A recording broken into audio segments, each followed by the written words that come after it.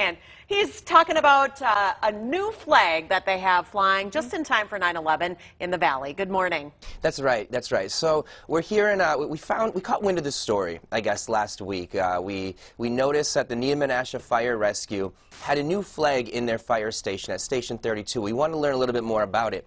Turns out that the Neenah Menasha Fire Rescue created a 9/11 memorial piece out of an old hose.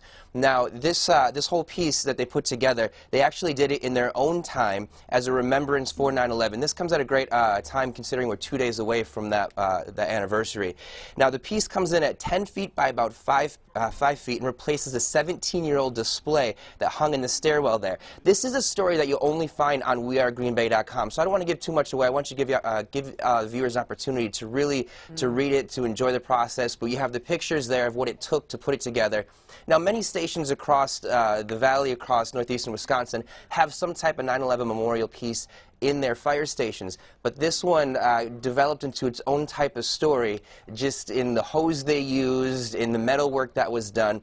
I definitely encourage people to, to go in and check it out. And as a nice little anecdote, they did say that uh, this shows us a great merger between Neenah and Menasha working together. Uh, one hose was used from Neenah Fire Department, one from Menasha, to really symbolize those two departments coming together. It's a great story. Mm -hmm.